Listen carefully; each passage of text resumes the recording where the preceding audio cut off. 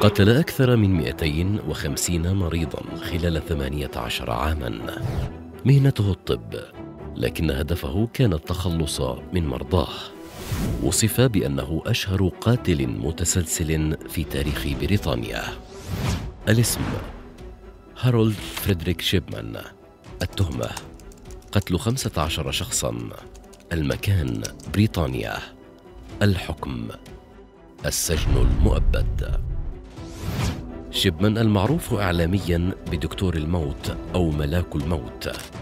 عاش طفولة عادية وكان متفوقا أكاديميا ورياضيا بارعا.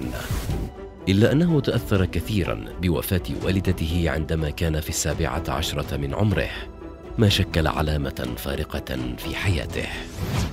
هارولد شهد موت والدته بسبب السرطان. عن عمر يناهز 43 عاما. كان يراقب عن كثب كيف أن الطبيب كان يستخدم المورفين لتخفيف آلامها ومعاناتها مؤقتا. عام 1970 تخرج هارولد في كلية الطب وبدأ ممارسة المهنة في مستوصف بمقاطعة يوركشاير كطبيب للأسرة وبعد خمس سنوات تم تغريمه بنحو 700 دولار لتزويره وصفات طبية وتعاطيه المخدرات.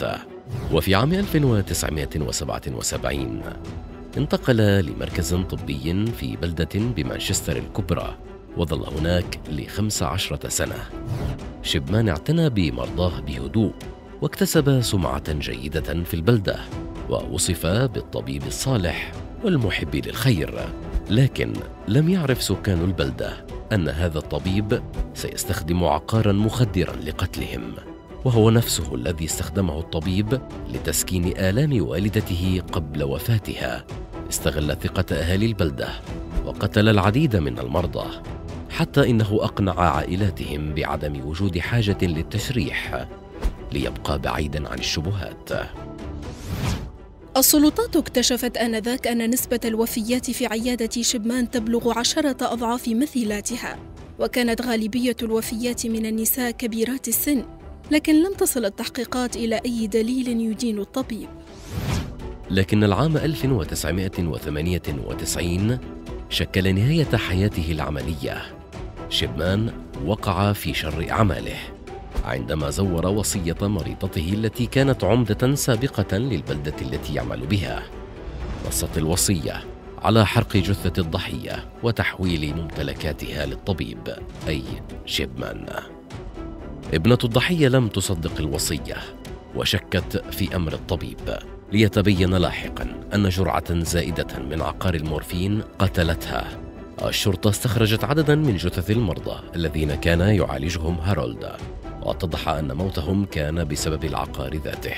مع ذلك أنكر الطبيب السفاح كل التهم واعتبرها مؤامرة ضده.